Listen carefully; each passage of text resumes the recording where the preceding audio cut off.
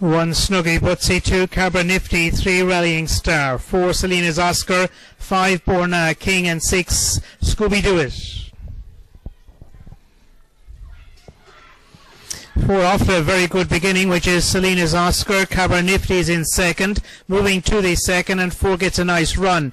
That is Selina's Oscar in front by three lengths. Cabra Nifty's in second. In third is five, Boherna King on the outside. It's now four, five, two, six, and one. Four commanding in front, and a lead of four to five lengths. Selina's Oscar coming towards the home stretch in this A2 5 to 5. It'll be 4, 6, and 5. 4 definite. The winner 28.63.